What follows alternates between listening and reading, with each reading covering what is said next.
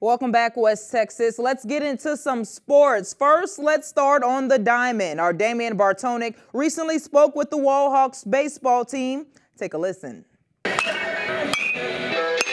2023 varsity baseball season for the Wall Hawks is expected to be both bigger and better than ever. With multiple returning starters and depth across the diamond, Coach Jason Schneers expect success. We, we have a lot of goals, especially with our with our program and where we were last year. We we started a lot of freshmen and sophomores last year, and those guys are mostly back. Win the district last year and go three rounds deep, and that's that's kind of where we want to pick up for this season. With 101 people per square mile in the city of Wall, the community has shown up for their local sports. Whether Wall wins three games or 30, the Hawks have always been able to count on their neighbors for support. Kind of makes me feel more confident going into games, knowing that I'm always going to have fans. It's amazing. Like when you play a game here, like you look up in the stands, you see all your parents, your fans, your friends that go to school, even the elementary kids. You know, they all look up to us, and I think it's amazing. Anything that the community can be involved, they, they support us in everything that we do, and so um, our program's had a lot of success, and, and they're a big reason why.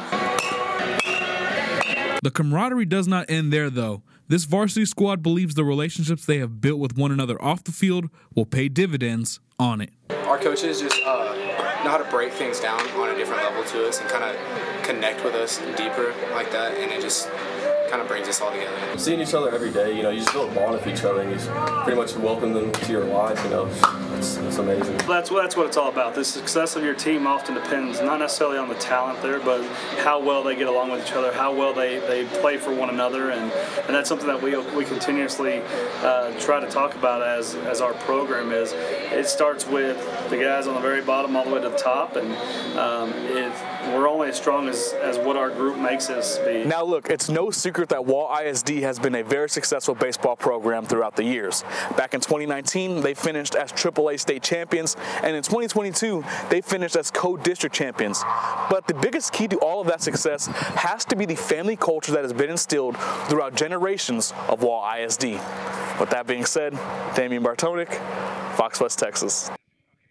And now let's check in with the Angelo State softball team. They are still in action against Texas women's. The score is one to one in the middle of the 12th inning, West Texas. Yes, I said the 12th inning. I don't know when this game is going to be over, and I'm pretty sure if you out there, you don't know either, okay? But hey, West Texas, that will do it in sports for right now. Of course, I will have more for you coming up later in the show, but more news coming your way after the break.